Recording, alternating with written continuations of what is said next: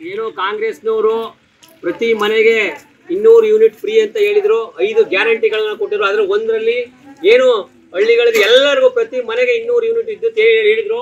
ಅದ್ರಂತ ಇನ್ನೂ ಆಗಿಲ್ಲ, ಆಗ್ಲೇ ಬಿಲ್ ಕೊಡಕ್ ಬಂದಿದ್ದಾರೆ. ಈಗ ಒನ್ನೂರು ಗ್ರಾಮದಲ್ಲಿ ನಾವು ಬಿಲ್ನ ತಡಿತಾ ಇದೀವಿ.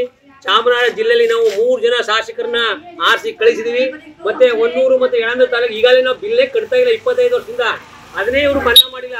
ಈಗ ನಾವು ಏನು ಬಿಲ್ ಕೊಡಕ್ ಬಂದ್ ಲೈನ್ ಮನ್ಗಳು ಇವ್ರು ಏನ್ ನಮ್ಮೂರ್ಗ್ ಬೈದ್ರೆ ಇವ್ರನ್ನ ತಡೆ ಹಿಡಿದು ಕೂಡಲೇ ಸರ್ಕಾರ ಏನು ಆಡದಂತೆ ಪ್ರತಿ ಎಲ್ಲರಿಗೂ ಸಿದ್ದರಾಮಯ್ಯ ಹೇಳಿದಾರೆ ಮಾದೇವಪ್ಪ ನಿಂಗೂ ಫ್ರೀ ನಂಗೂ ಫ್ರೀ ಮತ್ತೆ ಅಧಿಕಾರಿಗಳಿಗೂ ಫ್ರೀ ಅಂತ ಏನ್ ಹೇಳಿದಾರೆ ಇನ್ನೂರು ಯೂನಿಟ್ನ ಆ ಇನ್ನೂರು ಯೂನಿಟ್ನ ಕೊಡಲೇ ವಚನ ವಚನ ಆಗಿದೆ ಕಾಂಗ್ರೆಸ್ ಸರ್ಕಾರ ಕೂಡಲೇ ಎಲ್ಲರಿಗೂ ಇನ್ನೂರು ಯೂನಿಟ್ ವಿದ್ಯುತ್ನ ಕೊಡಬೇಕು.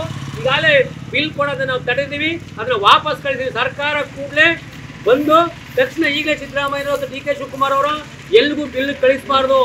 ಅದನ್ನ ಕಾನೂನು ಮಾಡಿ, ಏನು ಕಾಂಗ್ರೆಸ್ನವರೇ, ಮಾತಿಗೆ ನೀವು ವಚನ ಪ್ರಸ್ತರಾಗ್ರಿ ಮಾತು ಸ್ಪಷ್ಟ ಮಾತು ನಡ್ಕೊಳ್ಳಿ ಇಲ್ಲೇ ನೀವು